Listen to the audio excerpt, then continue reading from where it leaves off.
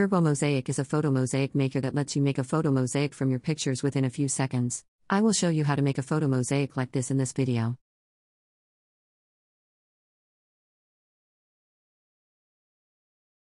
Let's make our first photo mosaic. First, open TurboMosaic and select an output size for our mosaic. I will use a 48 inches wide and 36 inches high size for this mosaic. Let us select the main picture for this mosaic. Here's a photo mosaic and the corresponding main picture. The main picture is the one we're trying to create from other images. Let us pick the main picture for this mosaic. Let us crop the main picture to focus on the couple's faces.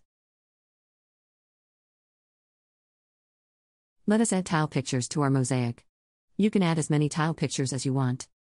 A large number of tile pictures with a broad range of colors work best. Let's generate our mosaic. Let's zoom in to see how tile pictures are placed.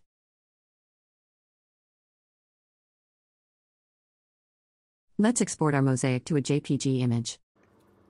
You can also export it in PNG or TIFF image formats. Let's open the exported mosaic JPG. You can print the exported JPG image using a local printer or a printing service of your choice. You can also email or share it on social media.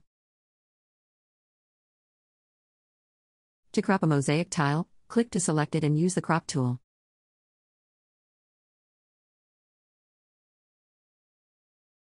Notice the crop tile picture. You can drag a picture from the pictures pane into a tile. You can easily exchange pictures in two tiles. By default, the photo mosaic uses square cells. You can use the cell size setting to use rectangular cells.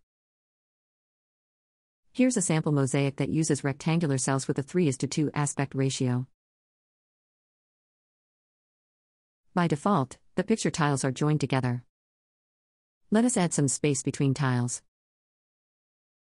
Let us set a color to fill the space between tiles. As of now, we're using black color. Let us switch to using white color.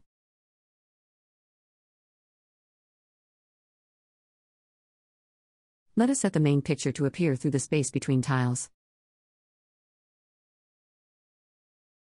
Notice how the tiles are placed in front of the main picture, which shows through the space between the tiles. Some tiles in the photo mosaic may not match the main picture well. Cell colorization tints these tiles to match the main picture better. Let's undo this. Let us partially draw the main picture in front of the mosaic.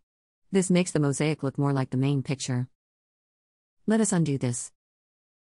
Let me explain the cell mirroring setting with an example. Here's a zoomed mosaic. Notice the two highlighted tiles. They are the same picture mirrored left to right. The cell mirroring option allows using the original tile picture or its mirror image, whichever matches better. If you turn it off, only the original tile picture will be used. Let me now explain the duplicate spacing setting with an example. Here's a mosaic with a duplicate spacing set to zero. This means that the same tile picture can be used next to each other, like the coffee cup picture here.